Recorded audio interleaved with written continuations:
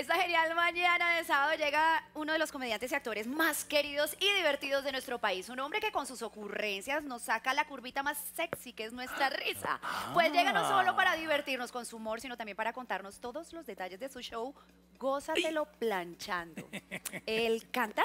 Encanta. Canta, Tiene talento. encanta, actúa. Eh, él ya le han propuesto papeles de- que, que no tienen que ver con el humor, quiere desarrollarse como un actor también de carácter, porque Ah, tiene cómo carajo. hacerlo. Siempre sorprende. Y él es... Iván Marín, el superhéroe del humor. ¿Ah, sí? El superhéroe del Ya humor. quedó Ese reunión tan bonito. Yo por eso nunca le digo no a Bravísimo. ¿Por qué? ¿Por qué? Porque es que aquí es tan bonito. Es que yo me siento tan de la casa. Se la levantan, Es que es, que muy ego. distinto. De verdad, por Dios santo, voy a hacerlo sinceramente. Que se enteren los otros canales. A que ver. se enteren todos. Me hubieran dicho eh, un sábado a las 7 de la mañana te recogen de, de cualquier otro. Yo, no, que estoy enfermo. Que, Que te pagan y que, tú, que no, me no, pasó no. algo, que me pasó algo. No, pero es que es en Bravísimo. Yo, ah, bueno, voy, voy. voy. Hágale, hágale. voy, voy. Aquí nunca les voy a decir que no. no en serio. Bueno, Me siento más- Ivancito. Además, miren, ¿cómo le voy a decir que no? Miren el nivel de, de sacrificio, esta gente tan bonita, eh, ustedes no saben, pero ellos ahí se les va a romper la retina por aguantar el rayo de sol que les está cayendo de frente y me dejaron a mí aquí al amparo de la sombra. Sí. Siempre qué pensando en nuestros mire eso. invitados. Pucha, estoy protegido. Yo- a mí me han Que sentado las allá. manchas nos salgan a nosotros, Exacto, pero yo digo, invitado no, no, Iván allá, por favor, Iván. No queremos que le pase a Hugh Jackman, él allá, todas las cosas. Entonces, entonces aquí estoy. Muchas gracias.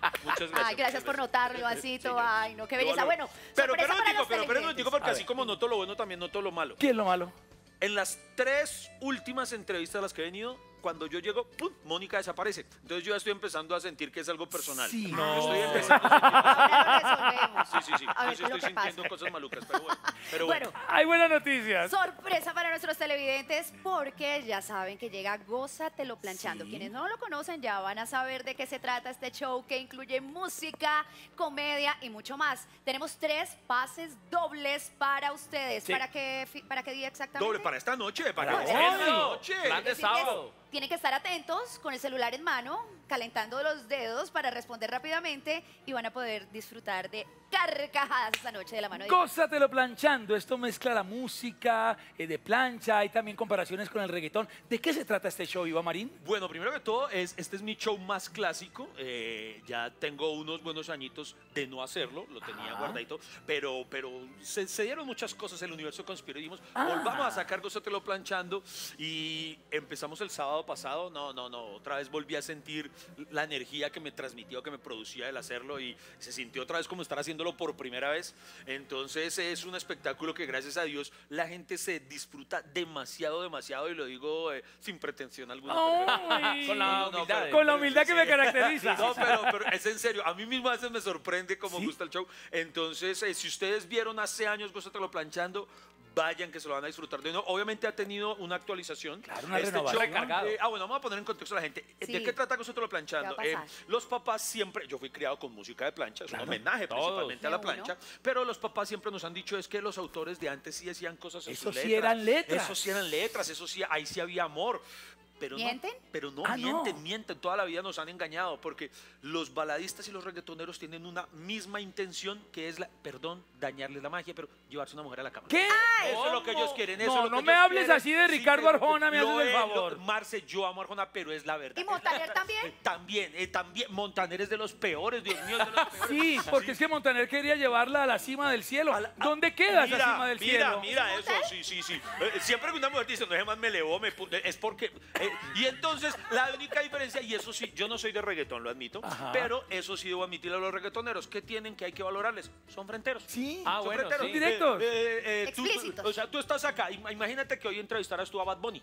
Yo, Bad Bunny no tiene problema en decirte de frente, si tu novio no te... ah, ta, te- lo dice. Pa' eso ajá. Él lo dice, él lo dice de una manera que a mí me da miedo. Yo digo, ¿cómo lo dice en una letra? O sea, si, si tú aceptas salir con Bad Bunny porque ya sabes a lo que A lo O que sea, va, claro. pin. O sea, ya, de una. En cambio, si En sales con Franco de Vita, ¿qué en cambio, pasa? Franco de Vita te va a empezar a, a- a metáfora. Ay, mira la luna, mira las estrellas. Cuando tú estás así, téngala. ¡Ah! téngala. Y ahí va, somos tres después de... Sí, exactamente.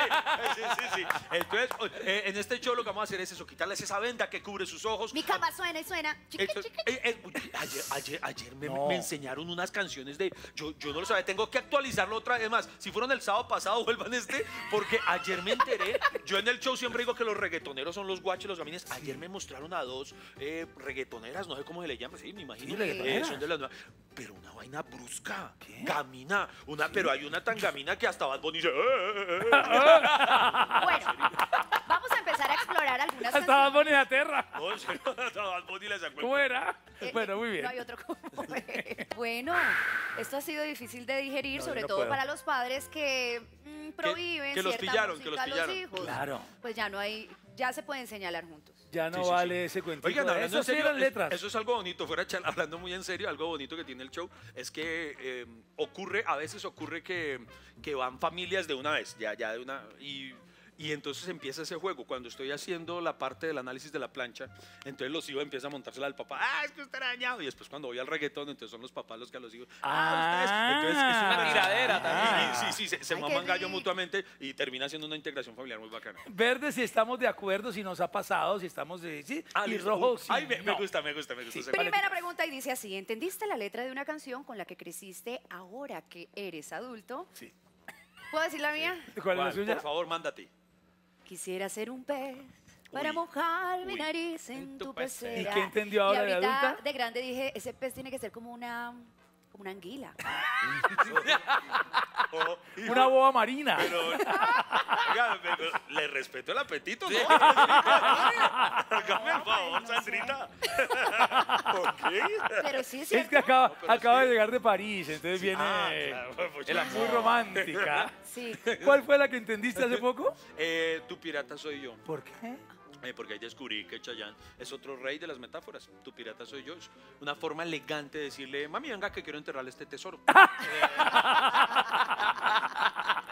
es, bravo, es bravo. Pero muy sutil, ¿eh? Además, es- son, son unos expertos profesionales. Claro, es que el pirata tiene el tesoro entre pata y pata. ¡No más! Sandrita. ¡No más! Sandrita No, tiene, ¿qué- qué huepucha, canción? No voy a decir Sandrita nada. tiene un look de alcurnia, pero una almañera. Es una cosa impresionante, de ¿verdad? Yo salí del barrio. El barrio no salió de mí. Claro, claro. Tiene cara de princesa y estómago de ñera. Esto es algo de camionero. Muy bien, sigue. Uy, Marcelo no dijo la suya tan tramposo. A ver. No, no, no, aquí nadie tiene corona. Sí, la única que tenía corona también nos dejó en estos días. De barrio. A mí el que me confunde mucho es Arjona. Sí. Porque el problema no fue hallarte. El problema es olvidarte. El problema no es que juegues. El problema es que es conmigo. El problema no es eh, el frío.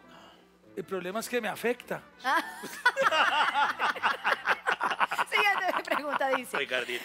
¿Has pensado que el reggaetón tiene letras horribles y no se compara a la música de antes, que era pura poesía? Sí, Sí, sí, es verdad. sí, sí. Aunque en Gózatelo Planchando vamos Sí, a no. desmitificar No. eso. Por Sí, eso no. la pregunta estuvo formulada, pensabas.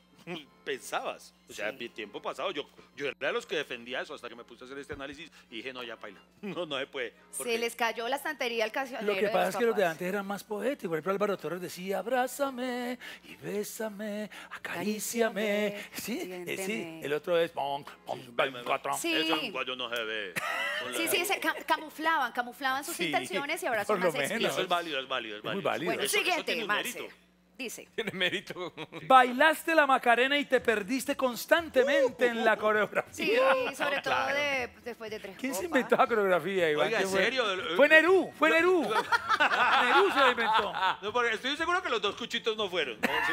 Oye, ahora que lo pienso en, la- eh, en el video, ellos no bailan. No, no, ellos no. no, ellos fueron los que hagan el oso los otros. Oiga, Ellos cantaban quietitos. Sí, ellos, y todo el mundo era el, uno era el pendejo por allá dándole. Y, y- y lo que hay que decir es que mi, mi justificación para no hacer aeróbicos hoy en día es esa canción. ¿Por qué? Porque yo digo, no, pues siempre voy a estar estrellándome con los demás. Yo no, sigo- yo no sirvo para seguir eso. No, no, no, yo no puedo, pero sí, Macarena. Yo- ¿cómo marcó se- la vida, A mí ¿no? me encantó la expresión de Sandra. ¿Cómo se daba alegría Macarena? Sí, eso todavía sigue Uno de los enigmas de la humanidad. Alegría y cosa buena. ¿Cómo se daba? ¿Has sido fan de una canción de reggaetón? Fan pero escondido. fan, fan, fan. Fan- no, yo sí soy- No, yo, yo soy sí. directa, Yo sí, no yo escondida. sí. Lo confieso. ¿Y tú, ¿Cuál es tu canción de reggaetón? A ella le gusta la gasolina.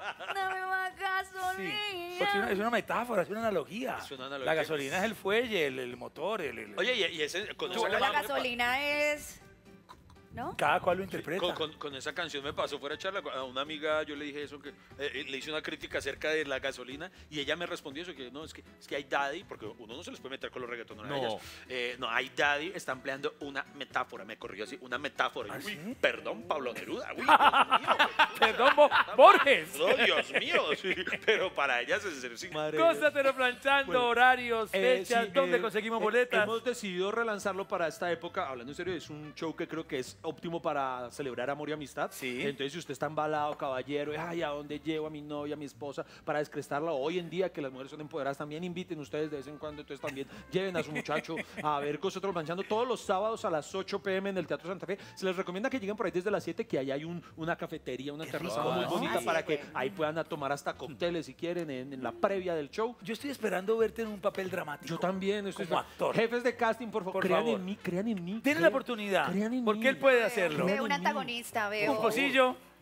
No, sí, un antagonista. No, Cobijita. Toda mi familia está coleccionando. Y el ¡Tenemos bravísimo para Iván Marín.